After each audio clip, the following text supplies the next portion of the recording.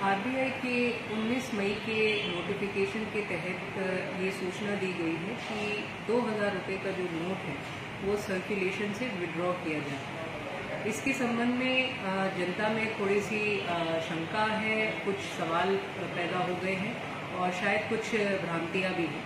तो इसके संबंध में स्पष्ट करना है नोटिफिकेशन भी ये साफ़ साफ़ बताता है कि अभी दो हज़ार का नोट कोई भी दुकानदार लेने से मना नहीं कर सकता है।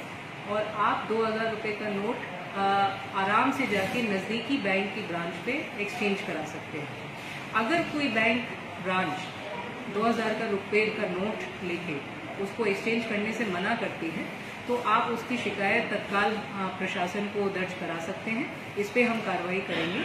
पर फ़िलहाल 2000 के नोट को लेके कोई भी पैनिक करने की कोई कंफ्यूजन में रहने की कोई आवश्यकता नहीं है। ये अभी भी लीगल टेंडर है और आप इसको इस्तेमाल कर सकते हैं और दुकानदार भी इसको लेने से मना ना करें और दुकानदार भी अपने सर पे कोई चिंता ना रखें। आ, अगर कोई हिचकिचाहट है कि बैंक नहीं लेगा या बैंक लेने से मना करेगा तो इसके संबंध में भी आप हमारे पास संपर्क करके इसमें कोई भी क्लैरिफिकेशन प्राप्त कर सकते हैं।